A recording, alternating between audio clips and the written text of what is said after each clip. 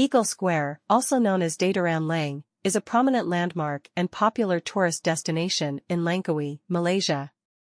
Here's more information about Eagle Square. Iconic statue, the main feature of Eagle Square is a magnificent statue of a reddish-brown eagle in flight, poised to take off. This statue is the symbol of Langkawi, as the island's name, Langkawi, is derived from the Malay word for eagle, helang.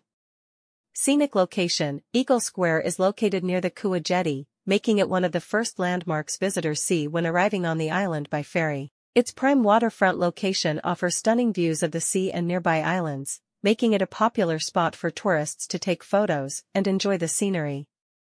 Symbolism The eagle statue represents the island's heritage and natural beauty, as well as its status as a popular destination for birdwatching and wildlife enthusiasts.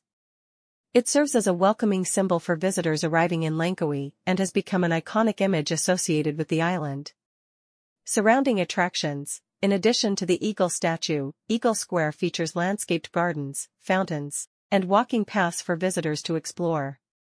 Nearby attractions include duty-free shopping malls, restaurants, and souvenir shops, making it a vibrant hub of activity in Langkawi.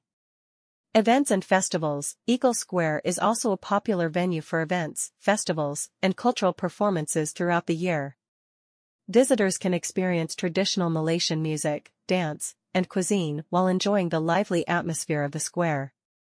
Overall, Eagle Square is a must-visit destination for anyone traveling to Langkawi, offering not only a striking monument but also stunning views, cultural experiences, and opportunities for relaxation and enjoyment by the waterfront.